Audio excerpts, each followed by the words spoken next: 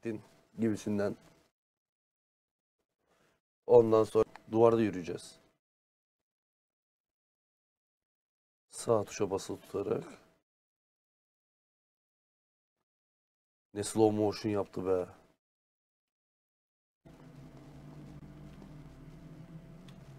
Onu alıyoruz. Bence yukarı çıkacaksın. Acaba mı? Evet. Ama ne tarafa gideceğin konusunda hiçbir fikrim yok. Gösterdi gideceğim yere.